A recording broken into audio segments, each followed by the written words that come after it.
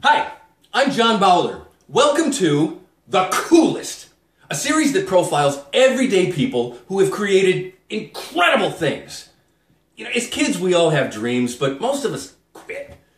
These folks didn't. Imagine a taxi driver who single handedly has created his own hovercraft in the shape of a DeLorean.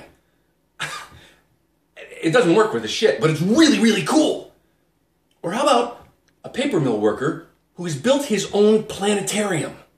And when he ignites the sun, well, the universe collapses and he's crushed by a scale model of Uranus. But does he survive? You'll find out.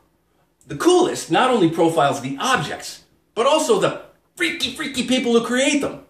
So come on, join us on this fantastic journey of discovery. This week on The Coolest. Chris Krug was shopping online when he came upon a Rolls-Royce Nimbus 2 turbojet helicopter engine. He bought it and installed it in his wife's minivan. Why? Because he's a friggin' nut and I get to go talk to him. Then I'll show you how a dentist from Philadelphia took some toy parachutes, some itty bitty little loads of napalm, and a whole pile of frozen Texas longtail bats and created his own weapon of mass destruction. And finally, Frankie Farkle takes his clothes off in gas stations during the day, but at night he's somewhat of an amateur inventor.